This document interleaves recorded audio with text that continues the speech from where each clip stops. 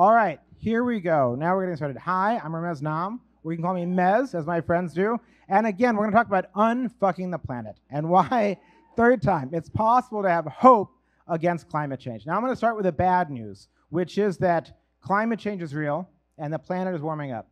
And we used to have a consensus that the safe limit of warming was about 2 degrees Celsius. Now we've moved that down to about 1.5 degrees Celsius. We've already warmed the planet about 1.3 degrees Celsius. We have very likely just missed 1.5 degrees Celsius. That's the bad news. We see the impact now. We used to think climate change was something that was going to happen in the future. And now we see the impacts of it right now with fires, droughts, coral bleaching, uh, freshwater issues, flooding, and so on. Now, when I started in this field, when I switched from software to climate and energy about 12 years ago, what we believed was that by the end of this century, we might see as much as 6 degrees Celsius warming, 12 degrees Fahrenheit.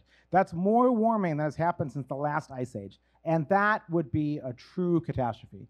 The good news is we've bent the curve in that last 12 years. We've gone from expecting four, five, six degrees Celsius to now thinking we might come in at 1.9, 2.5, somewhere in there. That's not good enough, but every tenth of a degree matters. And the reason we've made this progress, one of the big reasons, is the incredible cost decline of clean energy technology. Solar panels used to cost $500 or $100 a watt.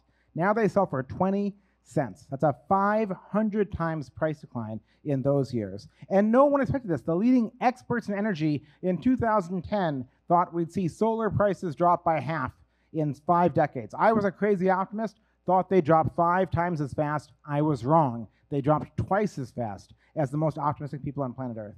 And it's not just solar, it's wind power, it's batteries, and now the ability to take clean energy and make hydrogen, make liquid fuels. And as all of those technologies have come down in cost because they are technologies, fossil fuels have not. Over the last 140 years, the cost of fossil fuels has just oscillated, just bounced around because they are, are fuel. Whereas the cost of technology for clean energy has been plunging. And that crossover that we're living through right now is what gives us hope. That has also led to radically faster deployment of clean energy than expected. These are forecasts in the colored lines from the International Energy Agency of how much solar we deploy in the future. Each colored line is a new year. The black line is what actually happened. And so that exponential growth in things like solar, in things like electric vehicles, solar and wind are 88% of the new electricity we'll deploy this year. All the growth in auto sales is electric. The peak of gasoline powered vehicle sales happened already in 2017. All of these technologies are going forward. Now, we're not done yet. There are a huge number of unsolved problems agriculture, cattle, deforestation, making steel, making cement, uh, how we get the last 20 or 30% of our electricity. Now, I could tell you about the technologies that might solve these, but actually, the most important ingredient in solving these problems is you.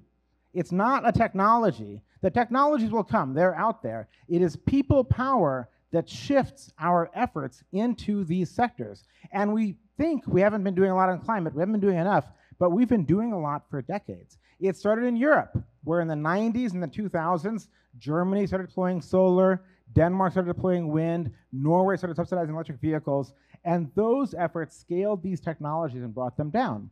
And they happened because of citizens. Now it's spreading to every corner of the world. Even Xi Jinping, president of China, declared a couple years ago a pledge of China being carbon neutral by 2060. It's a pledge, it's not really policies yet, but that's a sign of the times. But what many of you don't know is that seven weeks ago in the US, we passed the most significant federal climate policy ever in the history of this country, and one of the most significant uh, globally.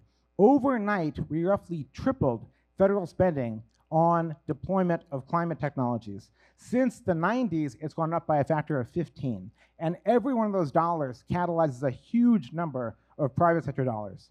Now, all of that having been said, it's not just you as citizens and voters, it's all of us as customers as well. These are the logos of the RE100. These are companies that have committed to 100% of their electricity being clean by 2030. And it's basically started with tech companies, but now every consumer brand has done this because they know their customers want a clean product, and now it's cheap. But it goes beyond that. It's also employees.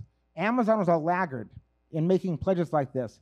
But then three years ago, thousands of Amazon employees wrote an open letter to Bezos, and hundreds walked out. And that switched Amazon to a complete pledge of massive decarbonization and creating a $2 billion venture fund in this area. So we as employees have an incredible leverage too. We are the ones who create the future. You are the ones that create the future, and together we can unfuck the planet.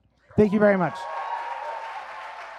Hey there! Thanks for watching. I'm Brady. And I'm Firen, and we're the people behind Ignite Talks HQ.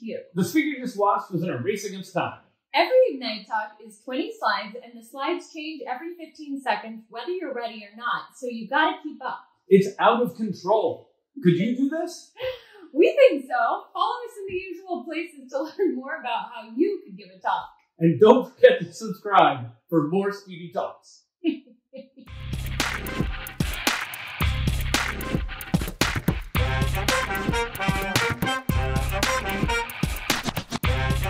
Thank you.